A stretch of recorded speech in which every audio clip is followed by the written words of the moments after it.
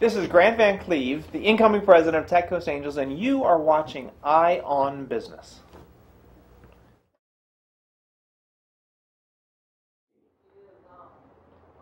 Welcome to Eye on Business Innovation, where we look at innovative companies, innovative products, and innovative people.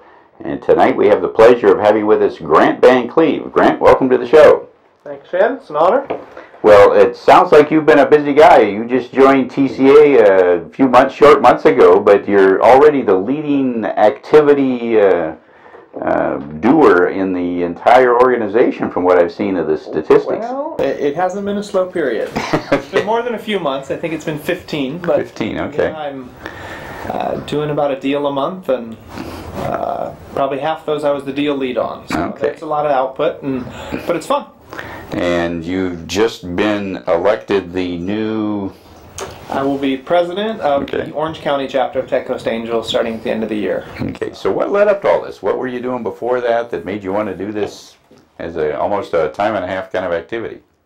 Well, time and a half, I think I've always been a time and a half guy. Okay. Uh, always putting a, a lot into whatever I'm doing. But I was doing real estate development before this. Okay, okay, So, uh, real estate development as a day job, and then be, on the side of that was always helping start up nonprofits okay, on the side. Okay. And real estate development itself, um, within the real estate spectrum, you know, you could be managing an office building or fine tuning assets financially for a better return, Okay. or you can be taking an empty hillside and turn it into a community. okay. I was this side. I was the early stage, and Okay, uh, in this latest downturn, and just actually moving. I moved here from starting from scratch, and real estate crowded sector was crowded, and the market Okay. wasn't great. And people helped me realize that ultimately I was a startup guy. Okay. I wasn't a real estate guy. I wasn't. Uh, uh, a nonprofit guy starting these other activities, I, but there was always a, a continual theme in there that I was helping get things going off the ground, and once they're rolling, I lose interest. Okay. So they said rather than do one of those at a time, why don't you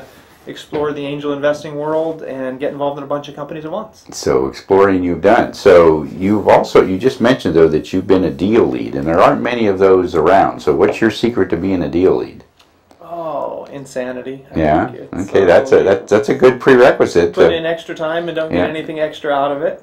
but maybe for our audience, explain what the deal lead does. I mean, Okay, so in an angel group like Tech Coast Angels, we're a collection of individuals who choose to congregate together to see Yep. deals together, to do due, due diligence together, hopefully make better decisions, Okay. and also pool Yeah. our wisdom to hopefully add insights to those companies. But somebody's got to herd those cats, somebody's got to do some of that uh, administrative legwork, and um, yeah, there's a certain element of I wouldn't call it selling, but of Yeah, yeah. promoting to some Yeah, extent. If you dig in, you find something's good. People need to help kind of remove those obstacles to get to that point of writing a check. So I, I naturally do that anyway. So I might as well just take the title. So there aren't many people that step up to be deal leads. So what what is it that can go wrong that keeps more people from doing it? Golf tee time. So, um, what could go But wrong? typically, uh, as, as you know, our angel members will, you know, it's like, yeah, I'm interested, but uh, oh, you know, when it comes time for the deal lead, everybody gets short arms, and your hand keeps going up. So what is it you're willing to do that others are less willing to do? Well, maybe that's a secret you're supposed to tell me now, so I stop doing it. Um, well, it's good we had this little chat. It's uh, there's largely it's a time factor, but Okay. I think uh, I have to be humble in a sense of I've done produced a lot of output in Yeah. this last year, but I, it's also my first year Okay. doing it, and there's correct people who've been there for Yeah, yeah. 15 years and doing it again and again, and they've got stories from in the trenches of having done all this, and they say, "I'll take a step to the side." Um, uh, yeah, I sort of mentioned that sort of side of the the element of creating some enthusiasm behind it. That just Okay. comes naturally to me. So. Okay. Um, I think people get reluctant about that. They don't necessarily want to ask somebody to write a check. They don't want Okay. to be Okay. have that awkward moment. They'll just sort of throw their idea out there and see what happens. And I like to grab hold of it and Okay. promote ideas. So you've been actually investing in many of these deals yourself. What Yeah. kind of criteria do you use in making the decision of I'm in, I'm out, um, I want to do more due diligence, whatever? I can't give you that secret sauce. Oh man, come on! That's what these viewers are paying all this money for. Is Uh, no, I wouldn't say there is a secret sauce. I don't know if these investments are going to work. I Yeah. am a uh, fairly intuitive investor. okay, Uh, I don't want to say that in the sense that I invest on, on a whim, but I can fairly quickly decide Okay. uh, Okay. where this thing's going to head, or at least change the nature of the discussion from a, you know, maybe I'll sit back and perhaps if I get to a certain point, I at a certain fairly quickly decide this has got decent chance, and then the due diligence is just making sure there's nothing that I'm missing Okay. Okay. um, along the way. So I've done a lot of things, a lot of team building work, a lot Okay. of leadership of individuals, a lot of uh, seeing what trips up organizations, and it's kind of bringing in a multidisciplinary approach to that. So I feel like I have a decent nose for catching some of those Okay. dangerous issues quickly. So if you translated some of that knowledge and experience into advice for entrepreneurs, what are two or three of the things you might want to tell them before they submit their application?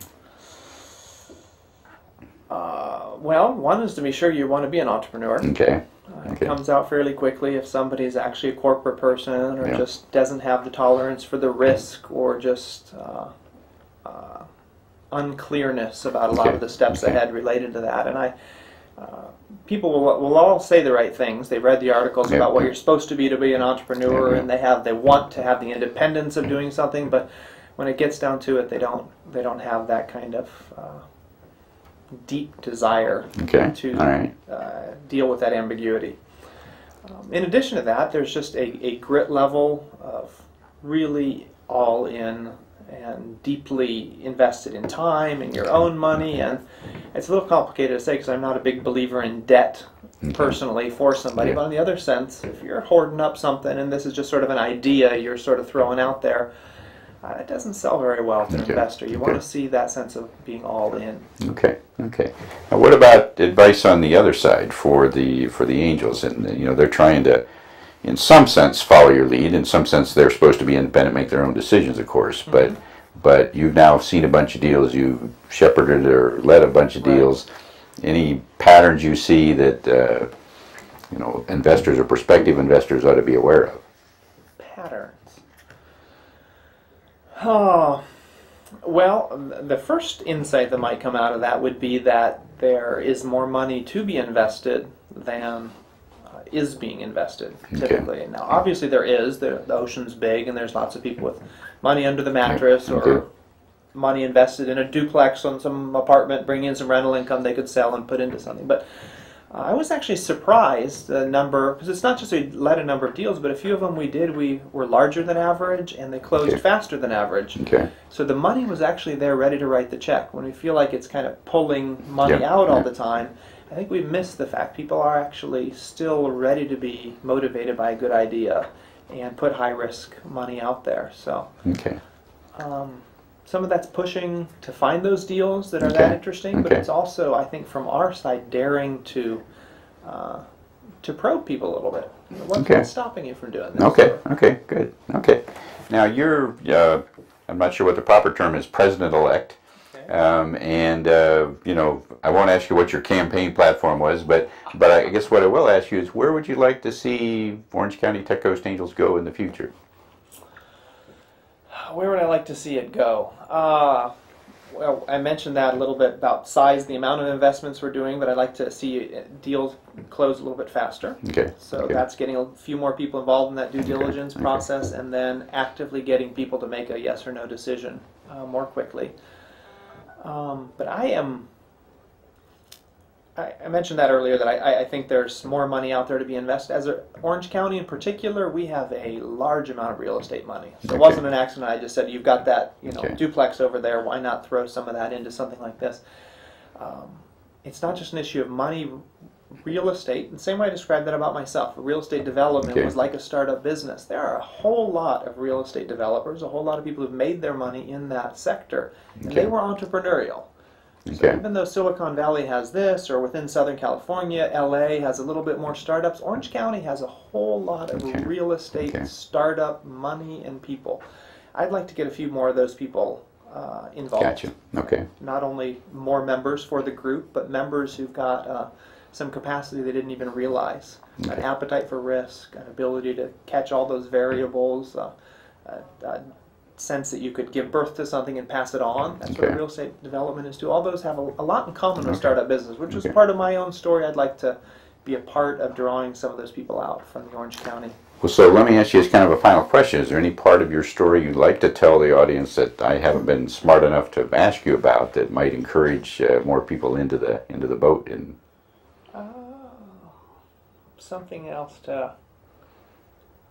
I mean, I guess the only thing that I would say, and maybe that's part of encouraging people to get involved in it more, is um, there's a creative process okay, that is Okay. so much fun to be a Yep, part of. yep. So that can be an encouragement for somebody to get entrepreneurial, or it Yep, can be a, a, uh, an encouragement to whether you bought and re-rented that Mm-hmm. duplex I mentioned, or you could be a part of a dozen companies Yep, yep. you start to get involved and you see something that was nothing or a, an empty spot in a market, a niche, Yep, and you created a product and it got to market and lives were changed and there was a financial reward for it.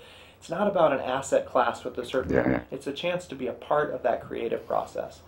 And I have to tell you, I'm having the, the time of my life. Okay. This is the most interesting thing I've been a part of. So, Well, sounds like you're the right guy for the job then. well, I've, I've got the energy and enthusiasm. So, hopefully, we'll be able to keep it going. Well, thanks for sharing your story with our audience, and uh, it's been a pleasure having you here. Thanks, so again. much, You've been watching Eye on Business Innovation.